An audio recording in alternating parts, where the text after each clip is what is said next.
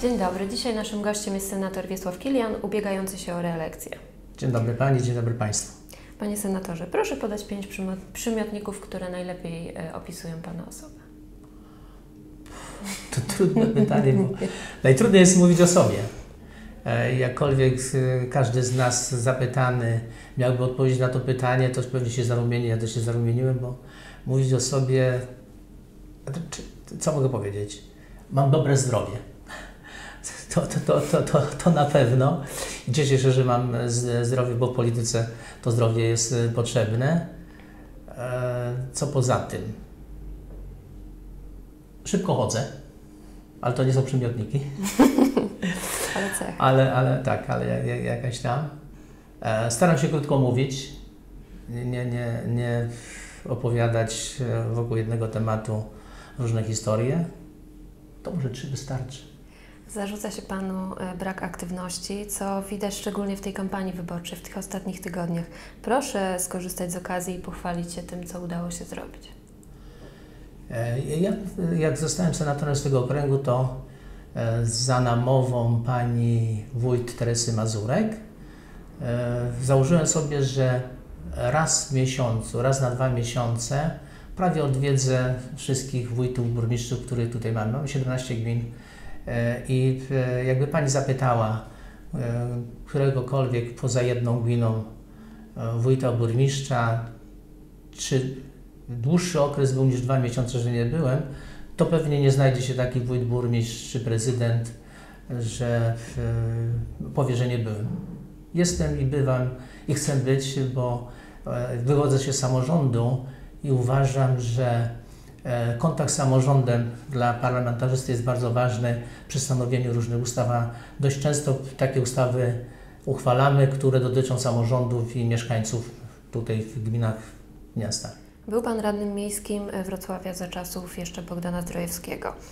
E, w późniejszym czasie został Pan posłem, następnie senatorem. Można powiedzieć, że przeszedł Pan wszystkie struktury e, samorządowe. Która z tych funkcji była dla Pana najtrudniejsza?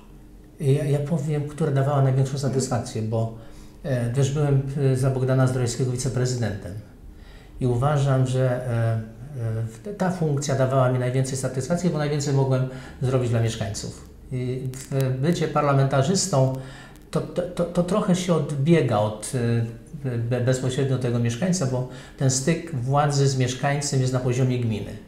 A, a my, jest tak, my jest, tak, jesteśmy trochę oddaleni, będąc w parlamencie, chociaż ja staram się spotykać z mieszkańcami i, i często powtarzam mieszkańcom, że czekałbym na takie informacje, które e, doskwierają mieszkańcom, a w wyniku prawa. E, bo jeżeli jest prawo, które doskwiera mieszkańcom w funkcjonowaniu, to, to takie prawo należałoby zmienić, które powinno iść i pomagać mieszkańcom, obywatelom, a nie utrudniać życie.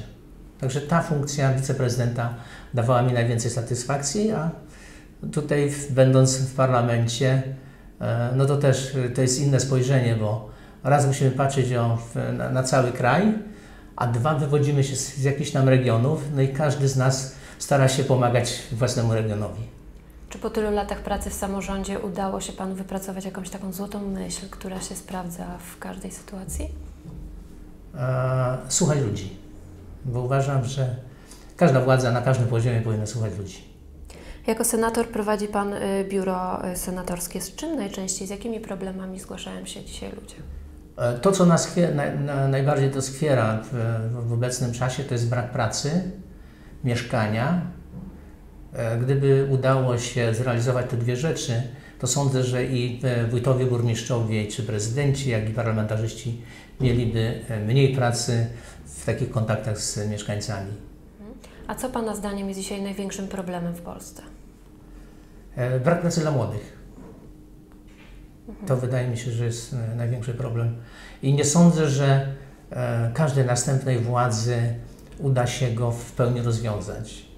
Bo, bo dam przykład.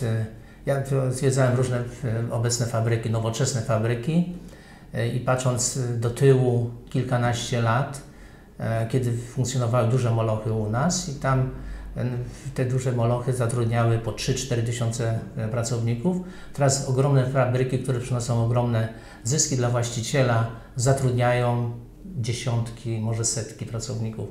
E, także proces technologiczny i automatyka spowodowały, że e, tej pracy jest coraz mniej. Gdzie można szukać tej pracy? Uważam, że w usługach, bo to jest, myślę, ta część gospodarki, która, gdzie zapotrzebowanie na usługi zawsze będzie. A jak poradzić sobie z kryzysem migracyjnym? Bo dzisiaj te największe firmy jednak sięgają po pracowników, w tej chwili wiemy już, że z Ukrainy. Bardzo trudno, bo ja też byłem w Anglii, e, bywałem we Francji e, jeżeli, e, mówię, znajdzie się tam pracę, to zarobki są nieporównywalne z zarobkami tutaj.